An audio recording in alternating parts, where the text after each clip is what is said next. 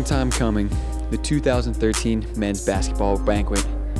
I'm happy that you're here with me, and I'm happy that I'm about to introduce my teammates to you. Let's get started. Vets right here. This is the originals right here, baby. This is the originals right here. That's right, that's real right there. Demarcus Holland, when I listen to the Boys to Men song, End of the Road, I think of you. Next year, when you're getting interviewed, are you gonna think of me and all the practice and stuff I gave for you in, in your future career in front of the camera? Most definitely. Anytime I got interviewed, asked uh, any questions in front of the camera this year, uh, I think back to the Melchionni report and how you prepared me. So uh, I really owe it all to you. What song do you think of that makes you think of me? The Harlem Shake. Really? Harlem Shake. Can you can you give us a little taste of it? Because this is probably gonna be the last time you're ever gonna be on the Melchionni Uh, report. You give me this mic. I want to see you do it. There you go. there you go. Now, Andrew, you've been here a long time.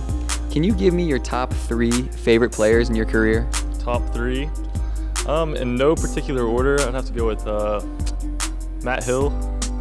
He was here for a while. These are all four-year guys, probably. Jai Lucas, yeah, and then uh, wild card Jordan Hamilton. Yeah. Wild card indeed. now, what city do you think is better, New Orleans or Lancaster, Pennsylvania? Uh, Is this a real question? Like, are you serious?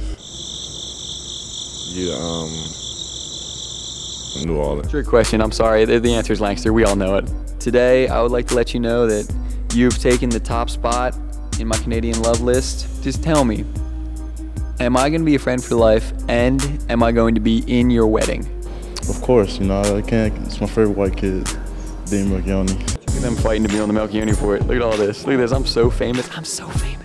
I've never been completely honest with you. When you first came, I'll be honest, I did not think I was gonna like you. What changed? Why? Why you became this this man that I love today? It was the haircut, man. It's just brought out the true me. It's my father. See, like, oh man, you honest. There's been a lot of talk saying that you're gonna get my job next year, maybe something like that. Do you think you have what it takes to do what I do? Uh, I didn't apply for the job. Neither did I actually. Yeah, so uh, I don't know. Probably the people that picked me, they they saw something in me that you don't have. Now, John, many people know or don't know tonight here in the audience, your father and I have be- become quite close. And he actually told me one time after a game, I'm the light skinned son he never had. How does this make you feel? I mean, I'd love to have you as a brother. You're a cool guy. I mean, no offense to my younger brother. That's my guy. Yeah. We go way back, but I mean, I wouldn't. That wouldn't be bad if you were my brother. The food, I don't want to take a guess at what it is, but what do you think the food tonight that you literally will be chewing as we're watching this? Mmm. Mashed potatoes, mm-hmm. broccoli, mm-hmm. A little shrimp, Ooh. steak with a little sauce on it. Ooh. You know how I get down. Just tell me your best memory from this year. I think the best memory has to be the Iowa State game. They don't have a timeout remaining. Back to Papapetrou for three. Got it! Wow! My favorite memory, other than Melchionni reports, um, would have to be the ending of the Oklahoma game.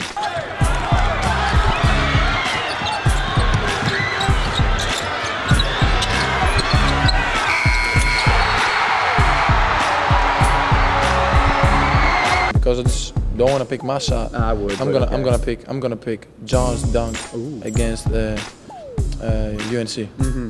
John's dunk, which I passed me the ball though. But Yeah. you know it was John dunking the ball. Bam! Oh!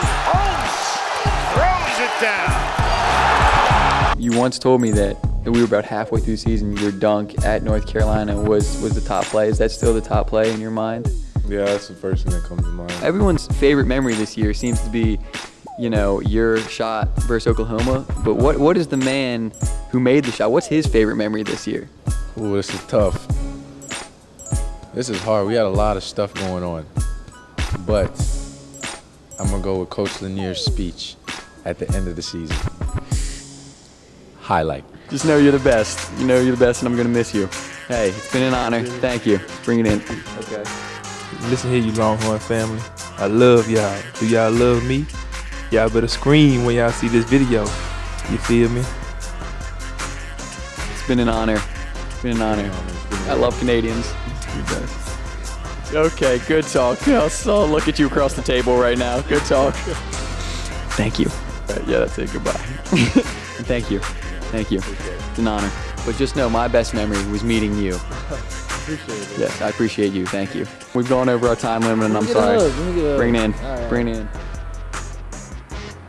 That's real love right there. It's been an honor to get on camera in front of you for three years.